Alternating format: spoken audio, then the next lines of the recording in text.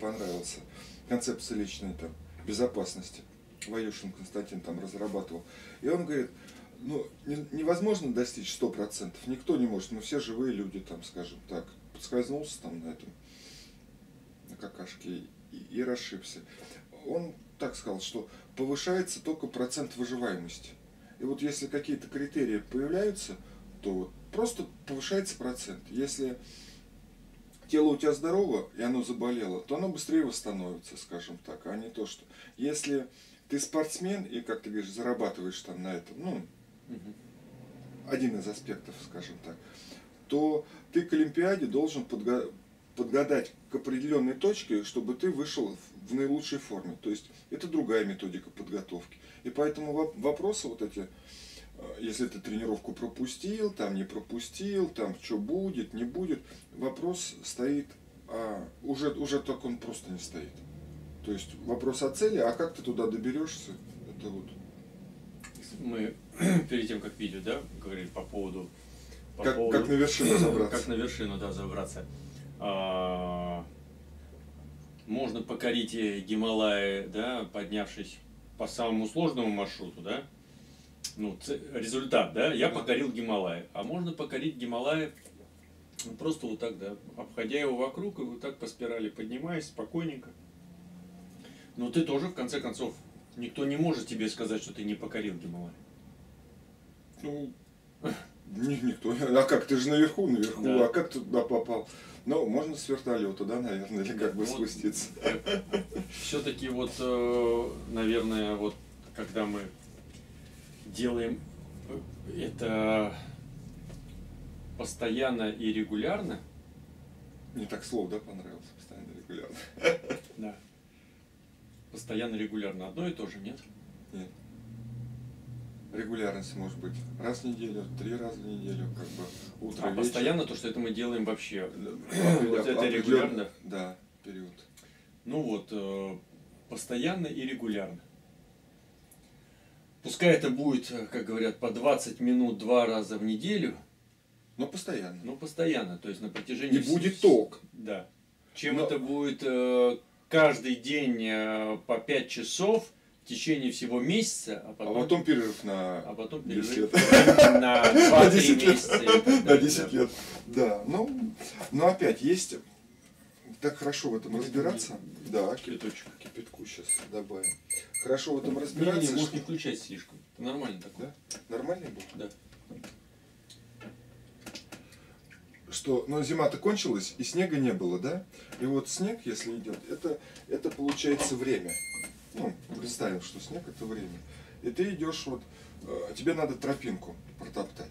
И насчет постоянно регулярно, как это? Если снег, много снега идет, то тебе надо больше ходить. Да. Если он меньше идет, то ты прошел, и следы, ну, как бы тропинка у тебя останется. Или она, ну, вот как время проходит, и у тебя знание, ну, если тропинка протоптана, да еще в снегу, время, то он даже если будет снег падать, тропинку будет все равно видно, и по ней снова будет легко пройти. Мгм. Понимаешь о чем? Я понял, да. Ну, ты прошел следы, и раз, и потом нету следов. Время прошло. Значит, ты прошел один раз по этой тропинке. Тебе надо больше пройти. Тогда утрамбуются эти знания, и они даже спустя месяц, два, три, они, они у тебя есть. Ну, следующий уровень какой мне понравился. Да это все такое, как ощущение, что все известно там. Ну, все То есть известно. ты не знаешь, что ты не знаешь, ты знаешь, что ты не знаешь, ты знаешь, что ты знаешь, и ты вообще не, Слушай, а вот не- я не- не знаешь, что знаешь. Так. Бе- Бессознательной компетенции. Давно я задумывался над этой темой, но не, э, тоже пытался о ней поговорить с кем-то. Ну, говорил, но не на видео. На видео не говорил. Пытался А. даже ее как- как-то записать. Тема такая, мысль, которую мы можем с тобой немножко тоже обсудить. Называется «Три, три единства». Вот я изучал, ну, то есть читал разные э, философские там течения, там, религиозные течения. Во многих прослеживается вот эта идея, и, та, и даже в э, боевых искусствах прослеживается, и даже в системе а, воспитание прослеживается. Это три единства. Что это значит? Допустим, не допустим, а точно, это физическое, там, интеллектуальное и нравственное воспитание. Не слышал ты об этом? Ну как не слышал? У меня педагогическое образование. А,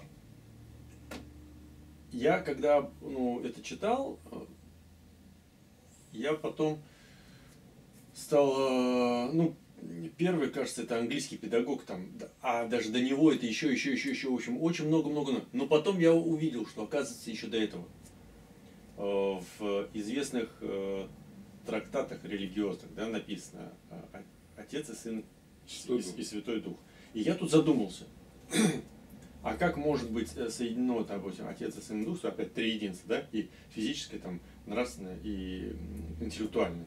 И я понял, что стал, а, а при встрече с Владимиром, uh-huh. вот цигуном мастером, он мне сказал, что в Китае у них у их учителя, у их школы uh-huh. есть такое э, китайскими иероглифами записано, значит, э, небо, земля, человек, uh-huh.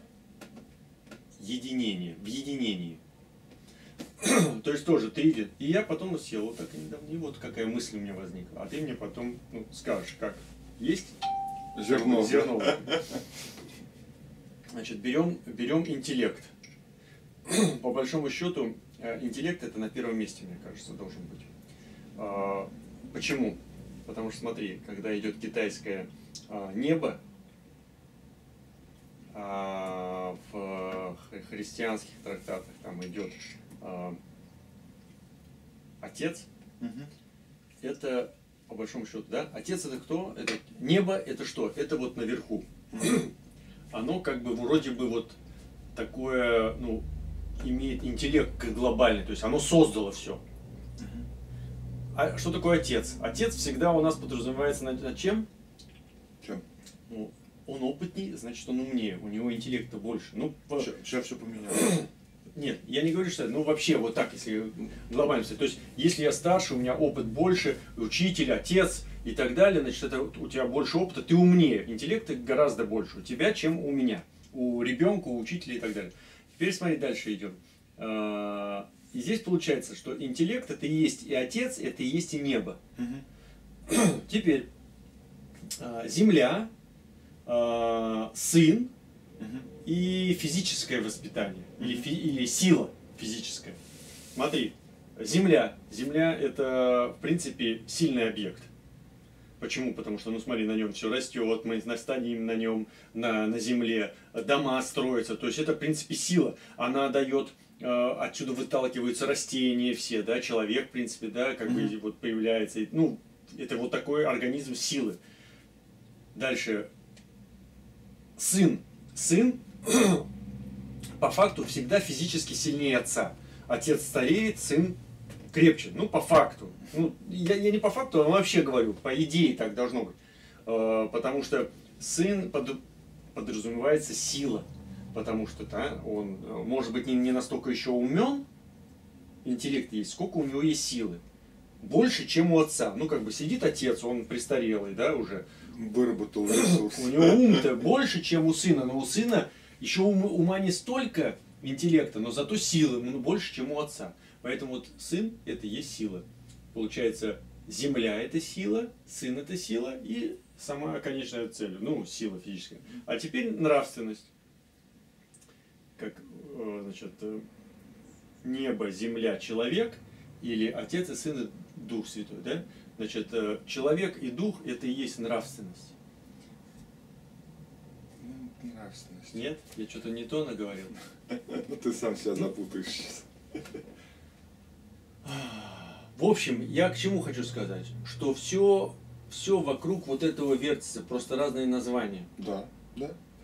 Мы по-разному называем, в разные времена по-разному назывался, в разных Правильно. местах по-разному называется. Правильно. Если с точки зрения педагогики, как физического, педагогики как в школе, там говорят так, мы развиваем интеллект, мы развиваем э, силу, мы развиваем нравственность. Если это мы приедем в Китай, где какая-то да, прослеживается философия дзен-буддизма, да, даосизма и конфуцианства, там значит, говорится о том, что значит, небо, земля, человек в единении. Да? То есть Ну, по-другому. Природа, да. Может быть, да. Или природа, да, видение. А, Ну, живые, все живое, как бы. А если мы как-то в религиозные какие-то влазим пути, там, значит, вот отец, сын, как бы тоже, и дух святой, то есть, как бы, интеллект, сила и Ну, к чему-то привязывается. да, к чему-то привязывается. Ну, правильно ты говоришь, что надо сначала, если два человека разговаривают об одном и том же, а понятийный у них аппарат не совпадает, они будут говорить об одном и том же и не понимать друг друга. И доказывать, что это не так, а вот мое кунг-фу сильнее. Ну, ты хоть э, понимаешь, о чем я говорю? Я наслаждаюсь, Как, да. как- как ты мне сказал, да, вот ты, ну, блин, вот мне очень понравилось, вот пять локтей мне очень понравилось, да, я вот это, а вот твое вот это я не понял. Не дорос, я сказал. Да, ну я не дорос, да, вот это вот твое вот это, вот. Вот пять локтей, понятно, сразу раз и дал челюсть, а вот это вот тянуться куда-то. Тянулся, да. Нет, мне тоже понравилось, как бы. Ну вот карате, это твердое. Ну понятно, что может перемещаться. Твердое. Дзюдо, жидкое. Айкидо, парообразное. Но это не значит, что и в дзюдо не может быть твердого, как бы, и парообразного. Ну вот, ну как бы там, 20 на 80 состоит. Но тогда, как мне понравилось, есть джиу-джитсу и айки. То есть любой прием можно выполнять как айки, так и джуджи. Джуджи, ну что значит, через силу Да. или через энергию. Вот как ты говоришь, проваливать. То есть можно или подтянул, или провалил. То есть айки, джуджи. Мгм. Действие одно и то же, а смысловая нагрузка разная. Или исполнение. Так что тут вообще, чем потом так все понятно становится, а потом снова так запутано, а потом снова вроде понятно, а потом снова запутано. Поэтому твердое, жидкое, парообразное. И как только понимаешь, вот, Газообразный. Или- Это типа физические эти законы, что ли? ну, Ты со-? Да. состоя- состояние. Состояние. Твердое, Ну, жидкое, ты же сказал, газообразное, парообразное. Земля, небо, человек там, твердое, жидкое, парообразное. И под это подводишь, как бы, понятийный аппарат, таблица Менделеева. Ну, мне так понравилось, скажем. Поэтому это не хорошо, не плохо. Озадачился, да? Нет, нет, почему меня? Мы же беседуем для видео. А Надо кто будет часами смотреть на этих? видео часами смотреть. А я смотрю. А что ты смотришь, да? А порой бывает так, знаешь, можно смотреть, просто включают и сами диалоги слушают. Включают, ложатся и просто прослушиваются И диалоги. засыпать как И хорошо, да? Ну и если наш тембр голоса понравится слушателю, бывает так. Вот А я- мне не ну, нравится допустим, свой. моему сыну нравится, он слушает одного журналиста такого, он рассказывает такой, ну, как бы исторические такие факты. Я сейчас вспомню, как его фамилию, постараюсь. И я спрашиваю сына, я говорю, а почему вот ты его слушаешь все время? Он говорит, а мне его подача, ну, голос, тембр, мне прям- Скорость, да? скорость. Ну вот всё. раскладываешь на составляющие, И да? Мне прям это так нравится, я прям как э, отдыхаю прям. Я слушаю его, слушаю, мне прям приятно, я вот ложусь. То есть не надо даже смотреть на это видеоролик, просто ложишься и слушаешь. Ну это тон голоса, тон друга, У меня так тон было... волшебника. Как это? В школе, когда я учился, в последнем классе, там, в десятом, не инструктор, а как называется, кто подготавливает там по математике, подтягивает. Репетитор. Репетитор по математике. Мгм. Я к нему ходил только за одним. У нее такой был тембр, тембр голоса, он так рассказывал, что я просто вот сидел, вот, и у меня, глаза были открыты, но я спал. Я отключал сознание. Блин, ну это ж классно. Да, и он мне вот рассказывал, он, он так это завораживающе рассказывал о математике. Я, конечно, особо ничего не понимал, что он, рас- но он так это мог рассказать, что я, э, ну вот мне просто это вот кайф был.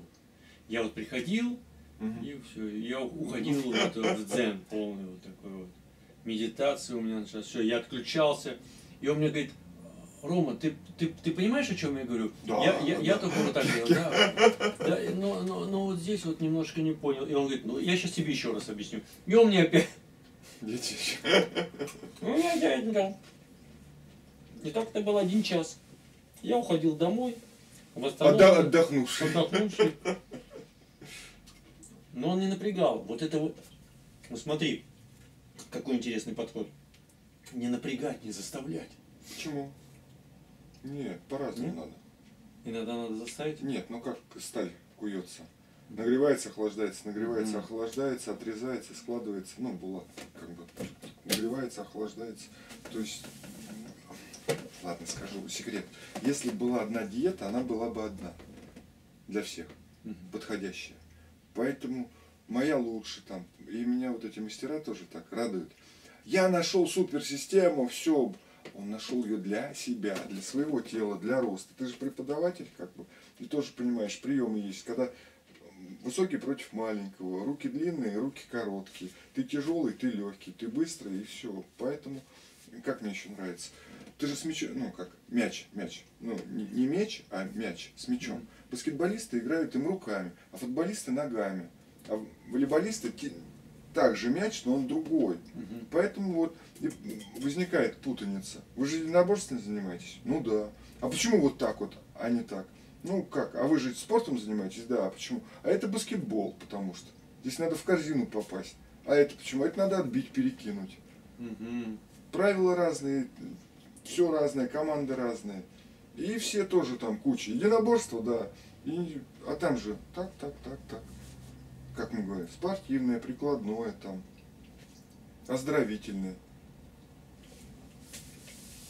Ну, это был Влад Макаров Это я был. и кузница Айкидо. Куйте, пока горячо. Так говорят? Куйте, да. Чего там куете-то? Холодное, горячее, холодное, горячее. Холодное нельзя ковать. А, Рассыпется. Поэтому надо разогреть. Пойдем греться. Мы вас приглашаем.